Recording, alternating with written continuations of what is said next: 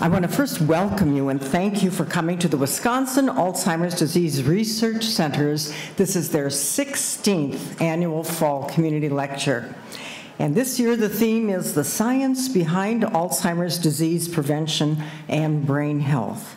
And tonight we're going to learn about risk factors for Alzheimer's disease and other dementias and the prevention strategies that we all can take to help protect ourselves from this disease.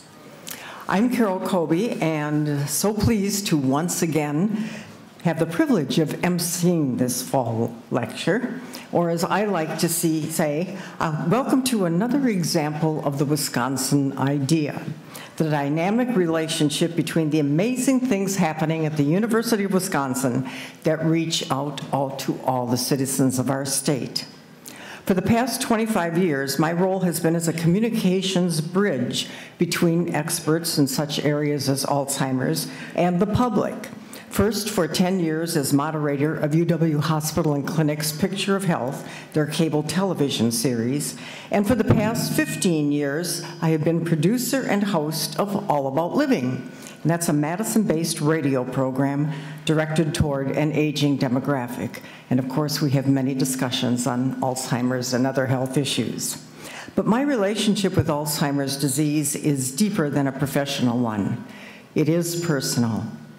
In the 1990s, my husband was diagnosed with frontal lobe dementia, and I learned firsthand how Alzheimer's and other dementias strip people of who they are and how they strain the health and emotions of their family members as well.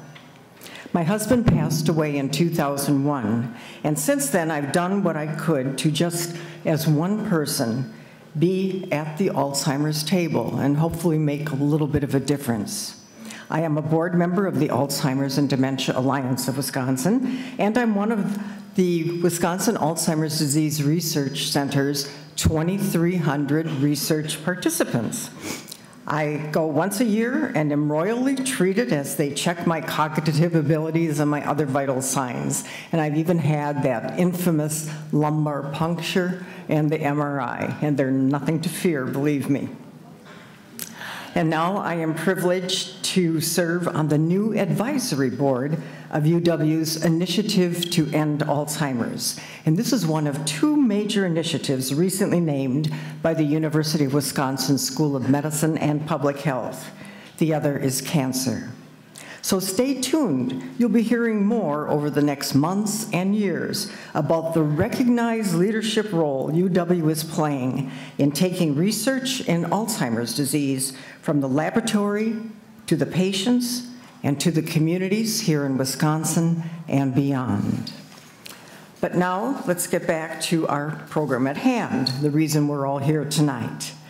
And I'd first like to take a moment to thank our sponsors. This evening would not be possible without their generous help and support.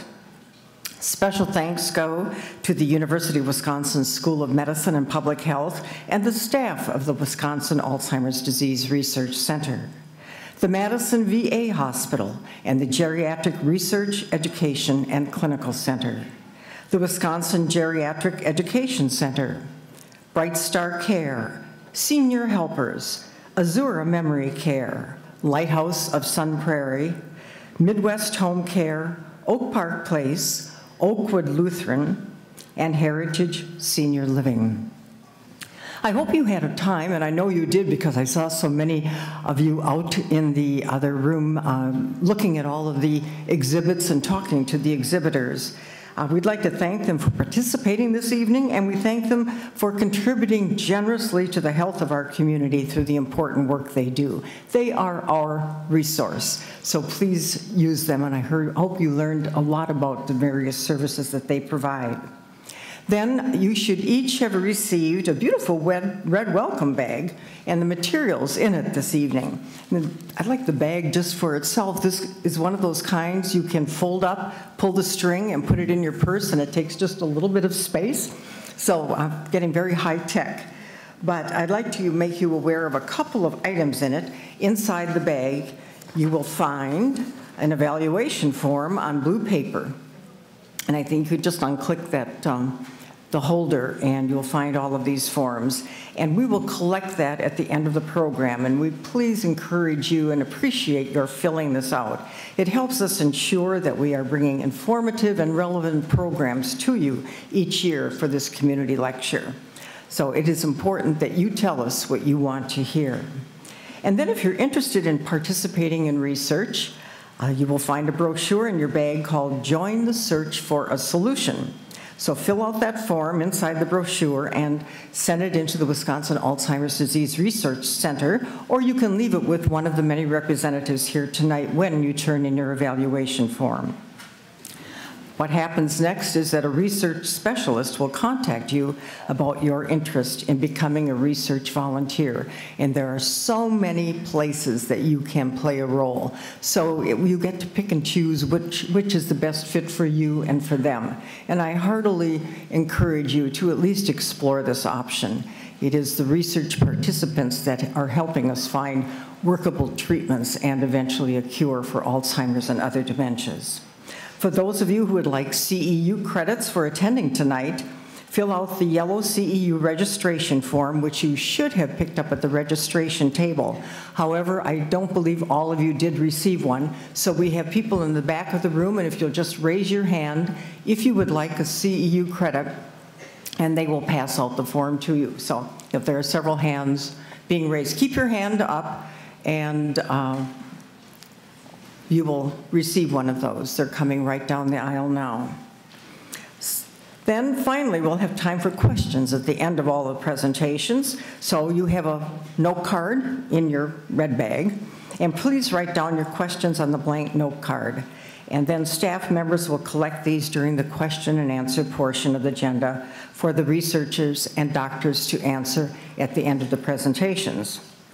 And then finally, just a housekeeping matter before we begin, and I just did it myself right before I came up. This would be a good time to turn off your cell phone if you haven't already done so. With that, I think we've covered all of the housekeeping details.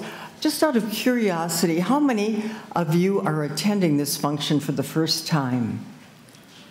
Wow, that is terrific. And I hope that there's a place that you can tell them how you found out about, about, about this event, uh, because it is such a wonderful opportunity. How many have been to the fall lecture before? That's an impressive group also. Well, welcome to all of you, those who are first timers and those who are returning. I'm sure with tonight's program you will be equally impressed as you have been in former years. And now on to our first speaker. And our first speaker tonight is Dr. Sanjay Asthana. Dr. Asthana is the director of the Wisconsin Alzheimer's Disease Research Center. And he is truly the vision and the persistence behind it. He is chief of the Division of Geriatrics and Gerontology at the University of Wisconsin School of Medicine and Public Health and was appointed the first Associate Dean for Gerontology in 2015. He also holds an appointment at William S. Middleton Memorial Veterans Hospital, where he serves as the Director of Geriatric Research. His father, an economist and diplomat for the United Nations, suffered from Alzheimer's disease. And that spurred Dr. Asthana's study of the disease. Please join me in welcoming Dr. Sanjay Asthana.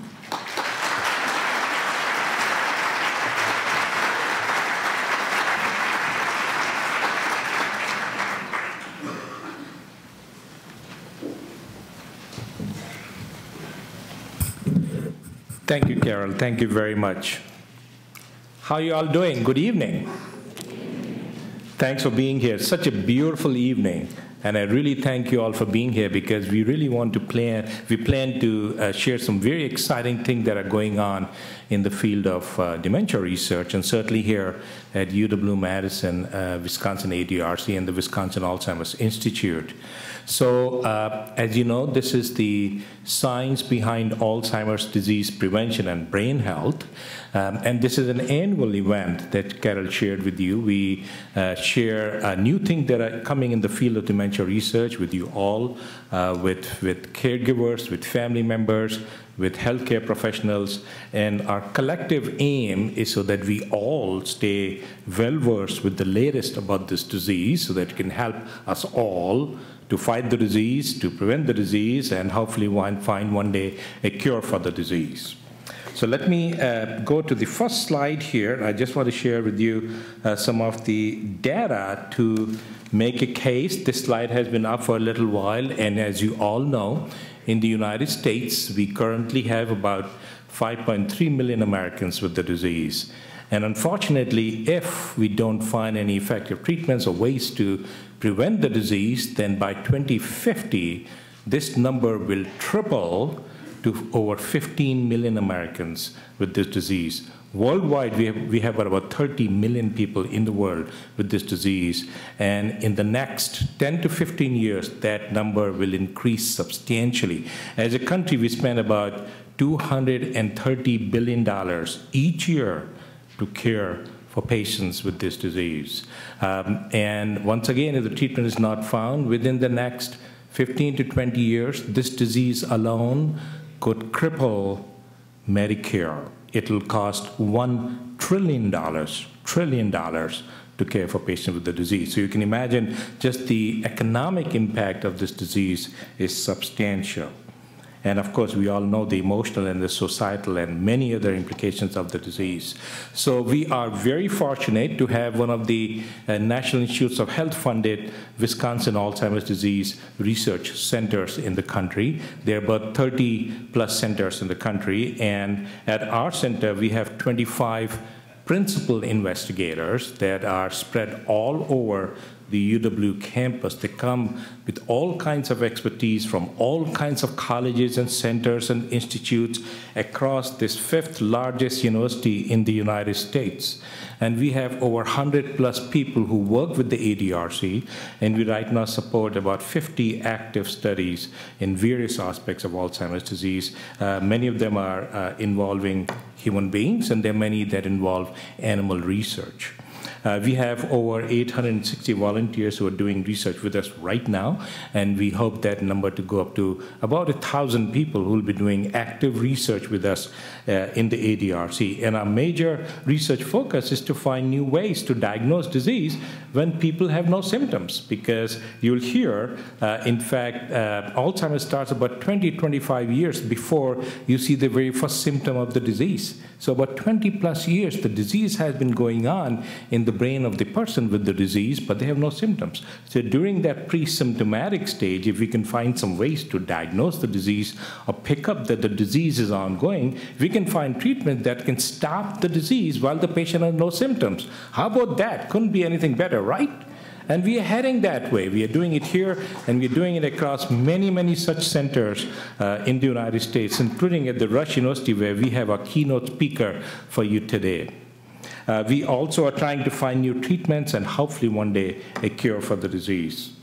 So uh, we have all kinds of research going on right here in Wisconsin at the ADRC, and Dr. Puglielli, um, I, I, believe that he, uh, he, he's obviously a genius, and I think he might be a, a huge award winner one day. But Dr. Puglielli is just one of the many scientists who's doing some molecular and animal research, and he has identified a a new compound that we hope from animal research, from more than 10 to 15 years of research, he's now found this new compound that we are hopeful uh, will one day uh, will be an effective treatment, hopefully perhaps a prevention for the disease. So more research is going on, and he is truly an innovative scientist. We have got research going under Dr. Sterling Johnson's leadership, all kinds of brain scans, PET brain scans. Uh, Dr. Cynthia Carlsson is doing research, uh, doing examination of spinal fluid that we collect from lumbar puncture. Uh, she's done over 1,200 such lumbar punctures so far, and we have tens of thousands of aliquots of the spinal fluid that we send all over the world in the United States and internationally to do all kinds of research. So we have that CSF research going on here.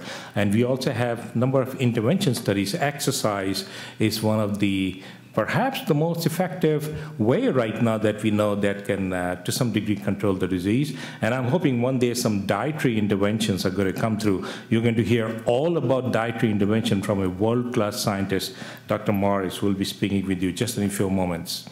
Um, and Carol shared with you uh, the, uh, the new program that the dean and the chancellor of UW uh, Wisconsin, Chancellor Blank, has announced called the UW Initiative to End Alzheimer's Disease.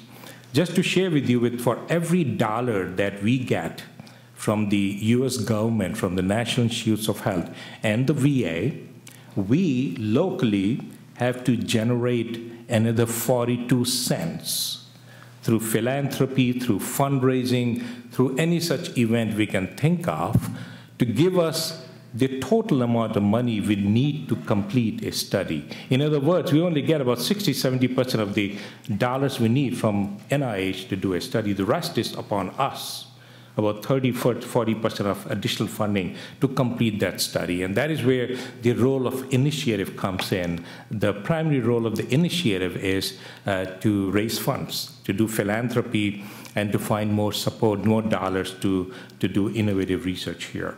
So that's the mission. It involves the ADRC and also the Wisconsin Alzheimer's Institute, and both the programs have staff and booths right outside. Please go and meet them.